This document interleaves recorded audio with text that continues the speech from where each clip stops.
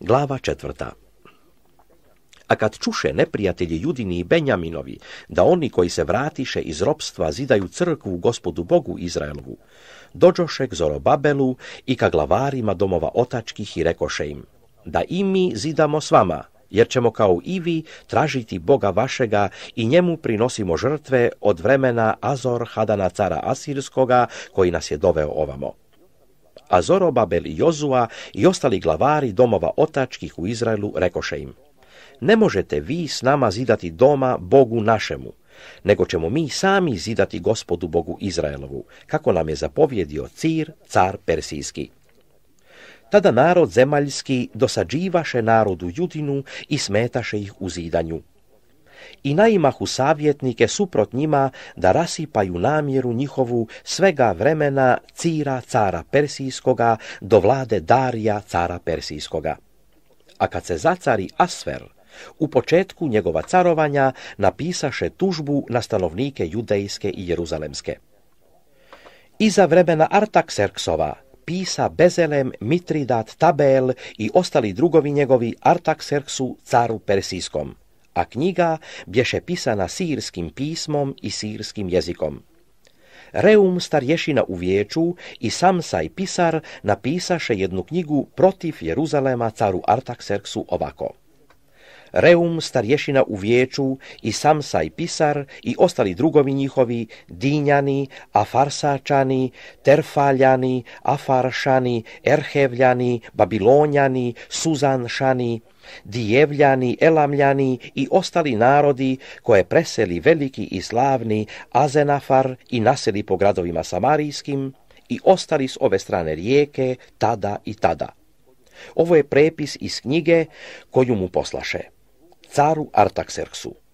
Sluge tvoje, ljudi s ove strane rijeke, tada i tada, da je na znanje caru da judejci koji pođoše od tebe k nama, dođoše u Jeruzalem i grad odmetnički i opaki zidaju, zidove opravljaju i iz temelja podižu. Nego da je na znanje caru, ako se ovaj grad sazida i zidovi oprave, oni neće davati danka ni poreza ni carine, te će biti šteta riznici carskoj. Što dakle platu od dvora primamo, te nam ne priliči da gledamo štetu carevu, toga radi šaljemo i javljamo caru. Da se potraži u knjizi dnevnika otaca tvojih, pa ćeš naći u knjizi dnevnika i doznati da je ovaj grad odmetnički i da je na štetu carevima i zemljama i da su se u njemu dizale bune od davnina, te zato bi raskopan ovaj grad. Dajemo na znanje caru.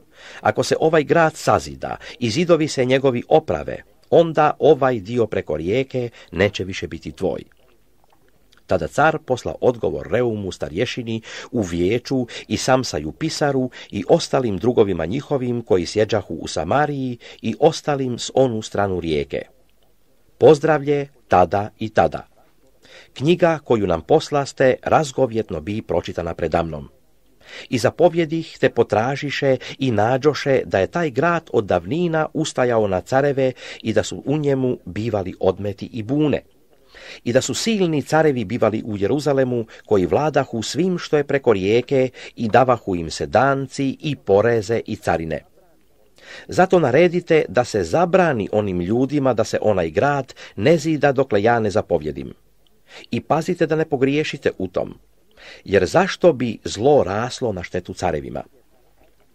A kad se prijepis od knjige cara Artakserksa pročita pred Reumom i Samsajem pisarem i pred drugovima njihovim, oni brže otidoše u Jeruzalem k judejcima te im zabraniše oružanom silom. Tada stade posao oko doma Božjega u Jeruzalemu i staja do druge godine carovanja Darija, cara Persijskoga.